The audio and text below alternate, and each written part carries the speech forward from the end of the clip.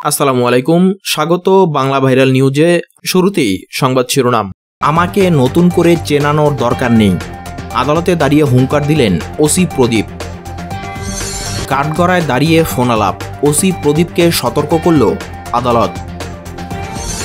Pori Moni সাকলাইনের video সরানোর নির্দেশনা চেয়ে আদালতে রিট। দেখছিলেন সংবাদ শিরোনাম। এবারে বিস্তারিত। দেশের ভাইরাল সব নিউজ মিস করতে না চাইলে আমাদের চ্যানেলটি সাবস্ক্রাইব করে বেল বাটনটি ক্লিক করে রাখুন। আর সব খবর পেয়ে যান সবার আগে। সেনাবাহিনীর অবসরপ্রাপ্ত মেজর সিনহা মোহাম্মদ রাশেদ খান হত্যার চাঞ্চল্যকর মামলায় টেকনাফ থানার বরখাস্ত ওসি প্রদীপ কুমার দাস সহ পনেরো আসামির বিরুদ্ধে সাক্ষ্য গ্রহণ চলছে। শুনানির জন্য আসামিদের কারাগার থেকে আদালতে আনা হয়। এ সময় সাংবাদিকরা ছবি তুলতে দেখে বিরক্ত হয়ে যান বরখাস্ত ওসি প্রদীপ। এ সময় তিনি বলেন, আমাকে নতুন করে চেনানোর কোনো দরকার নেই। এ সময় তাকে বেশ আত্মবিশ্বাসী ও চেহারা হাস্যোজ্জ্বল দেখা গেছে।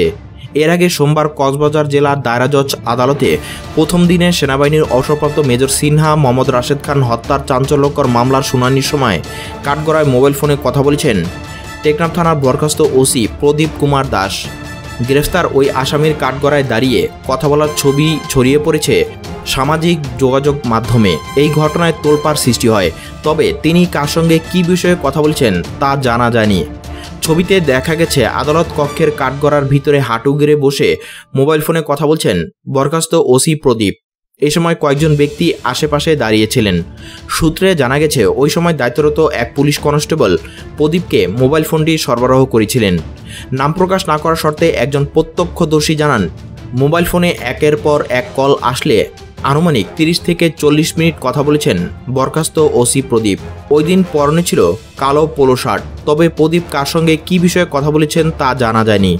প্রত্যক্ষদর্শী ও কয়েকজন আইনজীবী জানান সাক্ষ্য গ্রহণে প্রথম দিন বরখাস্ত ওসি প্রদীপ মলিন মুখে আদালতে এলো।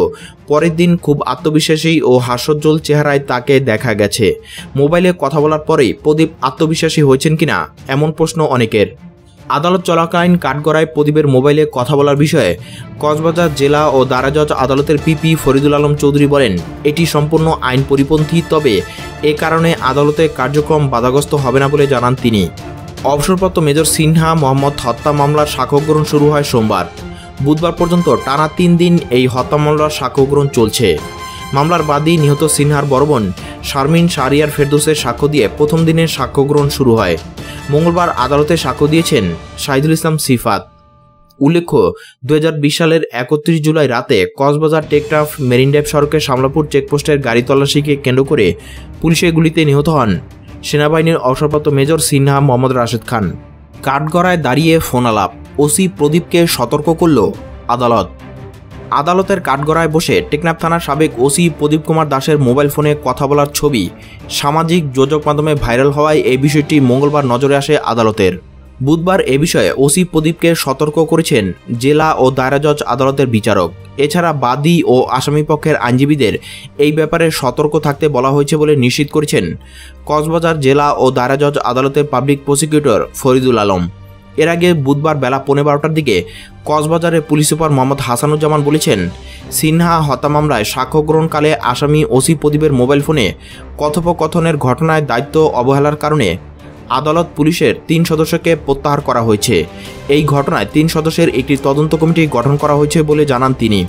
প্রত্যাহার হওয়া পুলিশ সদস্যদের নাম প্রকাশ না করলেও এদের মধ্যে আদালত পুলিশের একজন, এটি এসআই এবং দুজন কনস্টেবল রয়েছে বলে জানান পুলিশ সুপার। তিনি বলেন, জেলা পুলিশ কার্যালয়ে অতিরিক্ত পুলিশ সুপার পঙ্কজ বড়ুয়াকে তিন সদস্যের তদন্ত কমিটির প্রদান করা হয়েছে। এছাড়া ওই তদন্ত কমিটিতে সহকারী পুলিশ সুপার পদমর্যাদার দুই কর্মকর্তাকে রাখা হয়। গত সোমবার সিনহা হত্যা মামলা সাক্ষ্য গ্রহণের প্রথম দিনে আদালতে বিচারিক কার্যক্রম চলাকালে কাঠগড়ায় বসে মোবাইল ফোনে অজ্ঞাত ব্যক্তির সঙ্গে কথা বলেন মামলার অন্যতম আসামি টেকনাফ থানার বরখাস্তকৃত সাবেক ওসি প্রদীপ কুমার দাস। এ সময় আদালতে উপস্থিত থাকা কোনো এক ব্যক্তি ওসি প্রদীপের ফোনে কথা বলার দৃশ্যটি মোবাইলে ধারণ করেন। পরে আদালতের কাঠগড়ায় বসে ওসি প্রদীপের মোবাইল ফোনে কথার দৃশ্য সংবলিত ওই ব্যক্তির ধারণ করা একটি ছবি সামাজিক যোজক মাধ্যমে ফেসবুকে ছড়িয়ে দেন। এই ছবিটি গত দুই দিন ধরে বিভিন্ন সামাজিক যোজক মাধ্যমে ভাইরাল হয়। এ নিয়ে আদালত ও পুলিশও সংশ্লিষ্ট নানা পর্যায়ে ব্যাপক আলোচনা ঝড় ওঠে। সিনহা হত্যা মামলা সাক্ষ্য গ্রহণের প্রথম দিন সোমবার আদালতে হাজির হওয়ার সময় ওসি প্রদীপ কালো রঙের গেঞ্জি পরিহিত ছিলেন। যে ছবিটি সামাজিক যোগাযোগ মাধ্যমে ছড়িয়ে পড়েছে তাতেও গায়ে কালো রঙের গেঞ্জি পরিহিত অবস্থায় তাকে দেখা যায়। আর দ্বিতীয় দিন আদালতে উপস্থিত হওয়ার সময় প্রদীপের গায়ে ছিল গোলাপি রঙের গেঞ্জি। ধারণা করা হচ্ছে ছবিটি আদালতের সাক্ষ্য গ্রহণকালে সোমবার যে কোনো সময়ের হতে পারে। পুলিশ সুপার হাসানুজ্জামান বলেন, টেকনাফ থানার সাবেক ওসি প্রদীপ আদালতে সাক্ষ্য গ্রহণকালে কাঠগড়ায় বসে মোবাইল ফোনে কোনো ব্যক্তির সঙ্গে কথা বলার দৃশ্য সম্বলিত কথিত একটি ছবি সামাজিক যোগাযোগ মাধ্যমে ছড়িয়ে পড়ে। মঙ্গলবার বিষয়টি আদালত বিচারকের নজরে আসে। এই ব্যাপারে বিচারক, বাদী ও আসামিপক্ষের আইনজীবীদের সতর্ক করেছেন বলে জেনেছি। তিনি বলেন, সোমবার আদালতে সাক্ষ্য গ্রহণকালে যে কোনো সময় ওসি প্রদীপ মোবাইল ফোনে কথা বলে থাকতে পারেন। এ সময় সেখানে উপস্থিত থাকা কেউ একজন মোবাইল ফোনে ছবিটি ধারণ করেন। তবে ছবিটি সঠিক কিনা তা এখনও যাচাই বাছাই করে দেখা হয়নি। পুলিশ সুপার বলেন, বিষয়টি অবহিত হওয়ার পর পুলিশ আদালতের দায়িত্ব পালনকারী সংশ্লিষ্টদের বিরুদ্ধে তাৎক্ষণিক ব্যবস্থা নেওয়া হয়েছে। মঙ্গলবার রাতে আদালত পুলিশের তিন সদস্যকে প্রত্যাহার করে পুলিশ লাইন্সে সংযুক্ত করা হয়। এই ঘটনা তদন্তের জন্য একজন অতিরিক্ত পুলিশ সুপারকে প্রদান করে তিন সদস্যের তদন্ত কমিটি গঠন করা হয়েছে বলে জানান হাসানুজ্জামান। তদন্ত কমিটির প্রতিবেদন পাওয়ার পর অভিযুক্তদের বিরুদ্ধে বিভাগীয় ব্যবস্থা নেওয়া হবে বলে জানান তিনি। পরিমণি সাকলাইনের ভিডিও সরানোর নির্দেশনা চেয়ে আদালতে রিট।